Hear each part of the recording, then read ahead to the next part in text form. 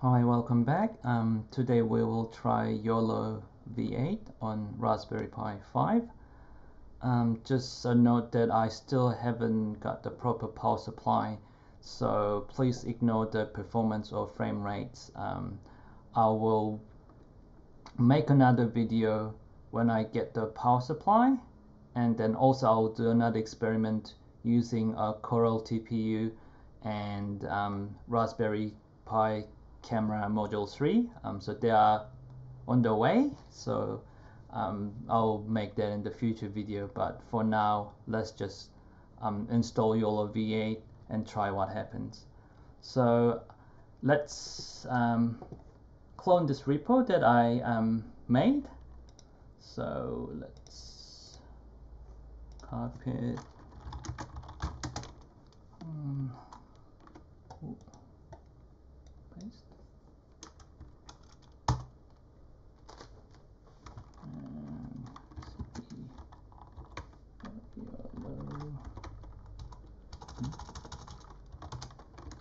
Ah, Raspberry Pi 5 YOLO.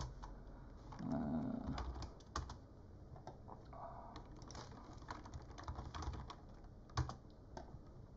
and um, so basically this repo we can like I have a CPU version for the Raspberry Pi 5 and then I also have a GPU version for what I trained on the Windows. I'll also make another video for this if people want but for now let's focus on uh, running stuff on the Raspberry Raspberry Pi 5. Um, um, first you need to have um, CMake um, that's because of when I exported to TensorFlow Lite format that was required. Um, I already um, installed this. So shouldn't make too much difference. Um, then let's create the Conda environment. So I'm using Python 3.9 I chose this um, version because I, I, I was told that the TPU um, for the Coral TPU that I'm gonna experiment in the future they like 3.9 so let's install. No I mean create Conda environment. Um, some of them will take time to install so I will fast forward um, in the editing later but now so let's conda activate.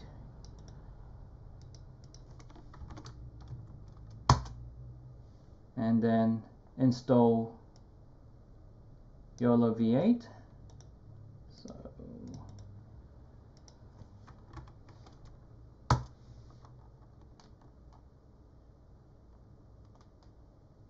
it's gonna take some time install a lot of stuff. I will probably fast forward this.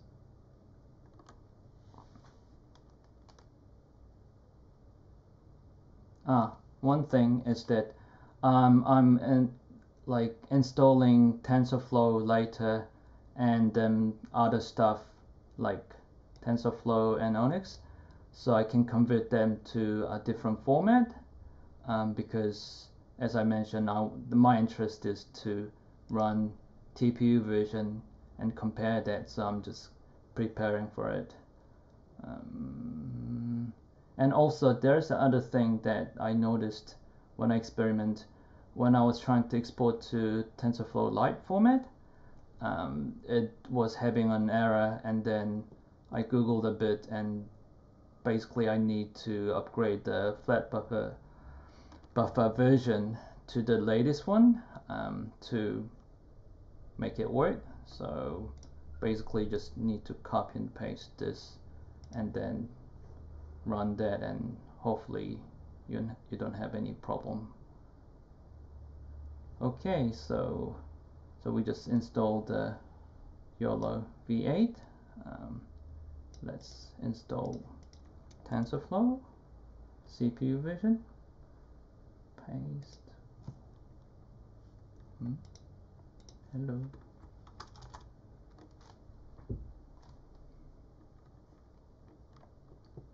Uh, installing.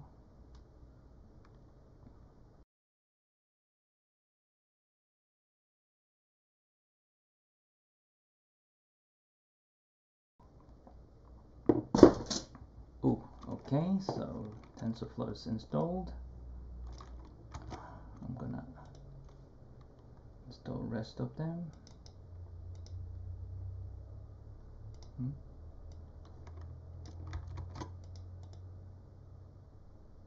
oh, it's very slow. The remote is very slow. So currently I am um, using remote desktop to my Raspberry Pi to the recording because when I tried the recording on Raspberry Pi it was just a little bit too slow. So I'll install the last one.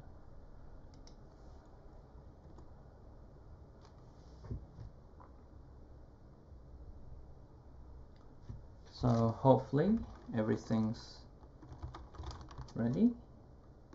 So let's export um, I'm, I'm going to try the smallest um, YOLO V8 which is YOLO V8 Nano. Um, and I will prepare I will export everything first and then I'm gonna just run them one by one to like see how it runs and I probably have to switch um, camera because at the moment this camera is not plugged in because I'm using that for recording this so I have to stop the video a little bit after that but let's um, try this ah.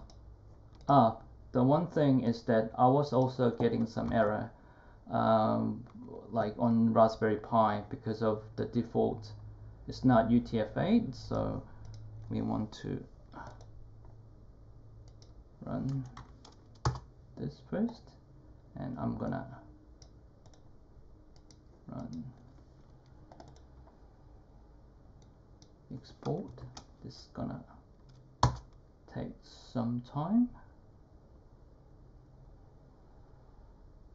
Uh, first it downloads the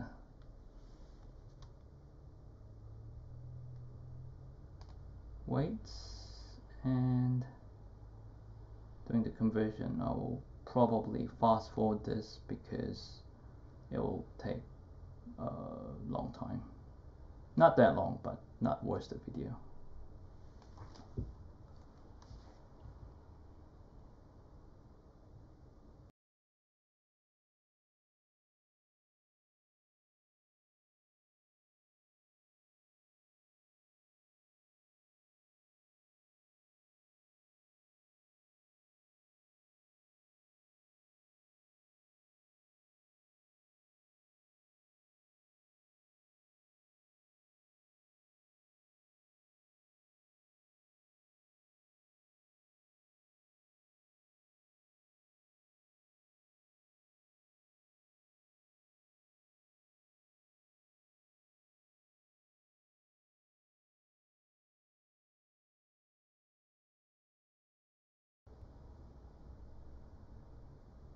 Wow, finally it finished. It took longer than usual, probably because of its busy sending stuff through remote desktop as well. It was taking a little bit less than this, but it was taking at least more than five minutes.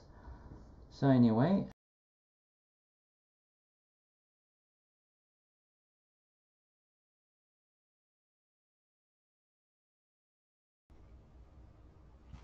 So let's run the YOLO V8 Nano. Um, this is 640 by 640 and if you run this um, it's running yeah the frame rate is not great. It's just barely hitting one frame per second. Um, so this is the kind of a default model if you just run it on Raspberry Pi. Um, also, I don't have the proper power supply, so it'll probably run a bit faster. I'm expecting, like if I get the proper power supply. But I'm gonna just keep trying different models. So this is the ONNX model that we just exported. Um, so if we run this, we should get slightly faster frame rate, which is three two three frame per second. It's slightly faster if you don't do the recording through the um, remote desktop. Um, and the last one is TensorFlow TF Lite version. And I'm running the quantized one. Basically this one runs faster with a bit of compromise in the accuracy and we get 7 frame per second. It runs slightly faster if I don't do the recording. So this you can run and then it will automatically download and it will, it will work. But this one that I'm about to show you you don't have access. Basically I access to I trained a, uh, a smaller version in terms of resolution. So I trained 320 by 320 overnight um, just for a test. And then I exported it. And the frame rate is a bit better. 10 frame per second on the ONNX version format I mean. And the quantized one runs much better as well. Um, but it's in the in low resolution so but in my project I probably don't need that much high resolution. Um, so if you run the custom and it runs uh, yeah 25 5 frame per second. So this is because I'm displaying the um, debug UI as well so it will run a bit faster if I disable the debugging. Um, I will probably make another video um, about how to train a model like a like low resolution model and then maybe do a bit of explanation uh, about the code that I shared so it might be um, useful for you guys. Uh, but for now I will stop the video now so oh typo. So I just want to run it with the showing frame um, frame per second without showing the display because display is slow. So it runs around 29 frames per second. So yeah that's about it today. Um, thank you for watching bye bye